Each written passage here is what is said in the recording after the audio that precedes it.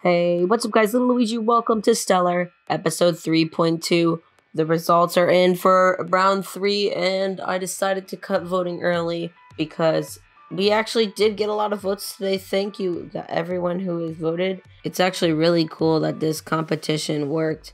It was kind of just an idea in my head, but I actually came up with it uh, before watching TWOW, and then immediately after, uh, I got like I got TWOW on my recommended, and it told me to watch TWOW Zero, and and and it really it's inspired me to make this, and it's actually a real thing. So I just want to say thank you, contestants and viewers, for voting and uh, making this come to life.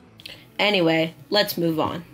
We got 11 votes in total, but there was a few suspicious voting. I'm not going to penalize for this suspicious voting, but I'm just I just want to point out two people had the exact same vote.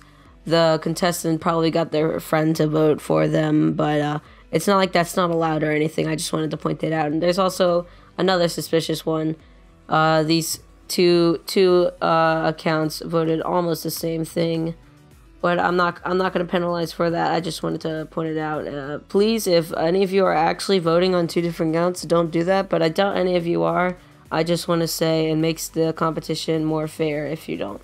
Anyway, it's been about a week since the last video, so the popularity contest has been updated, and here it is. It looks like Cornmeal slash Kermanil is taking over with his 18 weighted mentions, and Luna is in second, and now there's even more people that are the most unpopular, which includes Dead Person Miles, Mafia Boss, um, CG3K, and Logan. So they're the new underdogs, guys. So, um, don't know what that means, but it's just cool. Sorry if my microphone sounded weird in the last video. There's some mess ups. I had to retake them with a, a with my computer. I had to retake them with my built-in computer microphone, so it's, it's one of those sentences sounded terrible. Anyway, after this, we'll only have nine contestants left, which is actually pretty cool. Not really. I, it's just I want to say that every time. One person's getting a prize and one person is going to be eliminated. And since we're gonna have one person eliminated, that eliminated person is gonna have a badge. I decided I decided to start recording the ranking of everyone after each vote. So after the first vote, I recorded your rank, and then the second vote, and then the third vote, all up to when all 11 votes were made and I made a little motion graphic showing what rank you are after like a period of time. So that's going to be what shows the results. So it's going to be really intense and it's yeah. Just a reminder for contestants when you're giving sentences, make sure they're clever, original, and just not not repeating or run-ons and something that the voters will like so that you won't get eliminated. And also vote responsibly. And I think we can now move on to results to show the cool motion graphic thingy.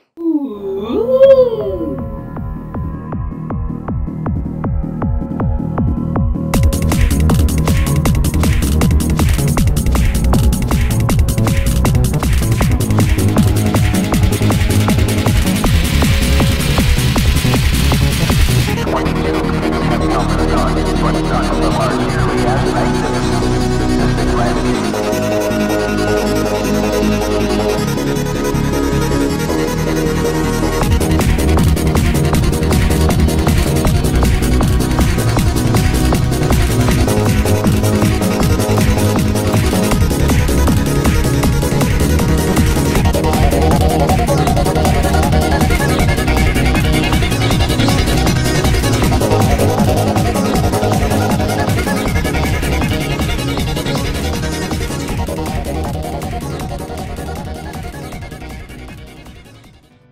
Looks like Cormanil H. Craxley is first again. What? Looks like he's gonna be uh, one of the top tier people for this re- for this season of Steller. And his sentence was, "I began stuffing my face on the spot as the waitress kindly told me to have a good meal." To which I responded, "You too," in the most awkward way possible. And he had a buddy, which might, which probably helped him actually. So I'm gonna make his prize a little bit less helpful to him he was also the the least controversial again. Oh my gosh. Uh, but there's less votes for him. There's no votes for him for first, and there are more votes closer to like 10th, which is actually pretty surprising. It's funny how the votes go four for second and three for third, and then two and one. It's, it's kind of cool how they count down. If you saw the motion thingy graphic, I don't know what to call it. Uh, Max Fecto was second, but then I'm Chuck stole second place at one point. With his sentence, the waiter came up to me with a large smile on her face, but something was not right, which which was a great start to the sentence. I'm Chuck. Good job which just proves that starting the sentence does not always have to kill you. And it wasn't really controversial, but it also wasn't the least controversial. And in third was Max Fecto, which was actually Cormanil H. Cragsley's buddy. What? Which is why they were so close to each other. Uh, that that's just a coincidence. So when I decide who where people's sentences are, I use a random number generator and they just happen to be close to each other. Anyway, Max Fecto's sentence was too shy to ask about it. I turned my attention to the very scrumptious looking plate of al dente pasta with carbonara sauce. Yum. Which was an okay sentence, but not okay to get first. And also, it's getting it got pretty close to the true average, 50%, which is pretty insane. And it was pretty controversial if you look at the votes on the right. So that's the podium. Now I'm just going to be saying who's the in what rank. So we have it's Logan Avery in fourth, which said the waiter had a weird look on their face. It seemed like the sentence voted the highest were the ones that were closer to the beginning. So I don't know if that's coincidence or if it's actually better to start at the be- to be at the beginning of a sentence. A story, not a sentence. Anyway, in fifth place was actually Brandon, who almost had the longest sentence and almost got 50%. But look at how many votes were closer to 10th. He got no first, second, thirds, or fourth. Sorry about that, Brandon.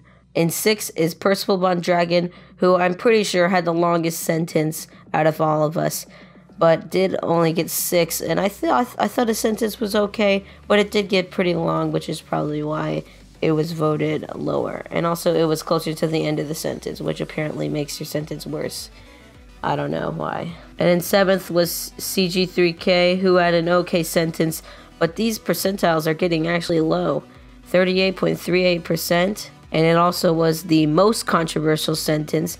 It had one in first and one in tenth. And look, it, it, lots of people voted it first and last and eighth was Sold Snake with one of the short sentences, which is is actually as a lot of people think it should have been in the middle, but okay, we have two contestants left to announce their rank. Either Angle or Mafia Boss is going to be eliminated, and they actually had pretty close percentiles, and in ninth place with two votes for first, one for second, and so on, and a pretty low standard deviation is Angle, which means mafia boss, sadly is dead. And he also was apparently the last the person who, he was also the person who ended the story.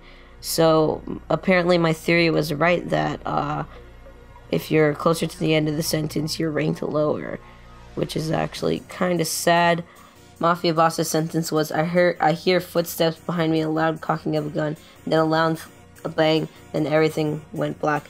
Which is actually a pretty generic ending, and it's a, it was a pretty lazy way to end the story, which is most likely why it got last. Few people voted at fourth and fifth, but there's a lot of ninth place, tenth place, and eighth place, which probably got him killed. Sorry, Mafia Boss, but you have to go. But guess what? You also get a really cool and amazing badge. This one's called Standing Tall which is like it combines start and end because uh well I don't know if you guys know but Mafia Boss actually started round 2 of the story. So and he and he was in the middle of the first one by the way.